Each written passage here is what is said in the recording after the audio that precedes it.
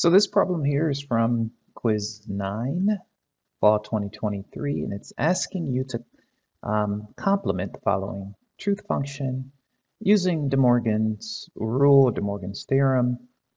Um, so the way De Morgan's work as a way of uh, reminder, if you have something like this, x plus y, and you wanted to complement this, so the complement of that would be um, x and it with y prime.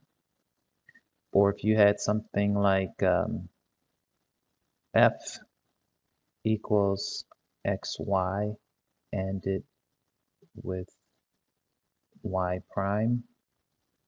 Uh, let's try another one. xy and it with z prime or with x y. So let's say we have that, and we, we wish to complement that, then it would be similar to what we did before.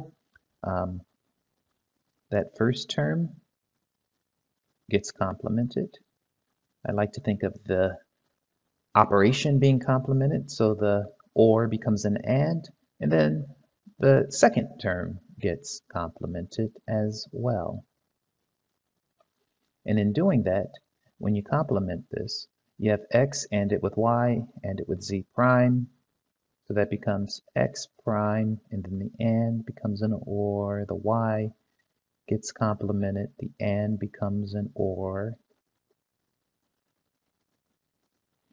And the x becomes a prime, and the y gets primed.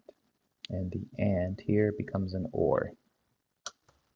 So that's a quick reminder as to how we work De Morgan's. Um, so let's try it with this.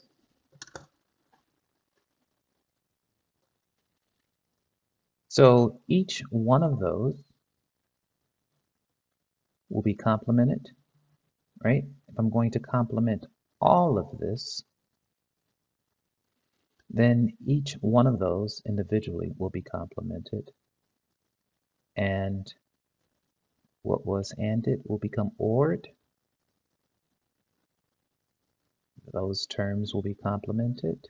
What was anded will become ored. Those terms will be complemented. Um, and that and will become an or. And then that last term will also be complemented.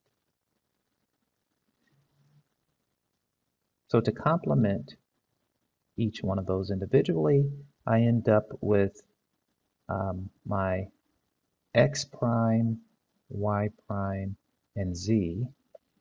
Um, once that grouping is complemented, it becomes an x, y, and z prime.